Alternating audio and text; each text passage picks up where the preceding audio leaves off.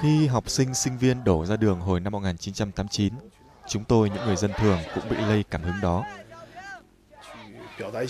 Tôi sống ở ngay gần quảng trường nên ngày nào cũng chạy ra.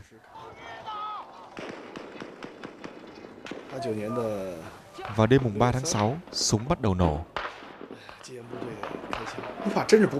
Rất nhiều sinh viên trẻ đứng chắn chiếc xe của quân đội và nhiếp bóc họ. Quân lính đáp trả bằng làn mưa đạn. Nhiều người ngã xuống.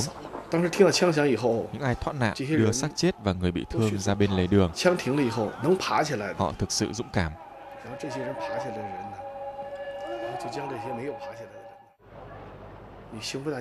Sáng hôm sau, tôi thấy nhiều người đang đốt ba chiếc xe quân sự. Người ta nhờ tôi giúp. Tôi châm lửa vào hai mảnh vải, nhưng không đủ để đốt cháy chiếc xe.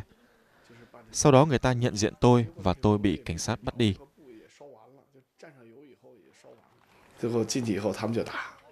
Họ đánh và dọa giết tôi. Họ muốn biết ai chủ mưu vụ đốt xe. Tôi không muốn có thêm người bị bắt, nên tôi nhận hết tội về mình. Tôi phải ngồi tù suốt hơn 17 năm.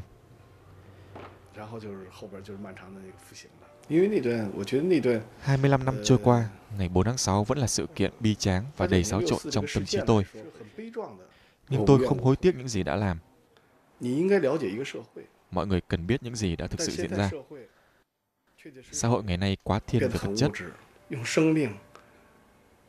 Còn những người đã chết, họ không hy sinh tính mạng của mình cho điều này. Chúng ta không nên thờ ơ do cuộc sống ngày nay đã khá lên Chúng ta không bao giờ được quên. 但是不能忘，也忘不掉。